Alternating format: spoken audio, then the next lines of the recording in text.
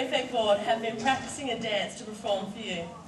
This group has been in their fittest form, burning many unwanted calories and building those fine muscles. Blood, sweat and tears has been shed throughout the journey of the dance. So sit back, relax and enjoy the performance.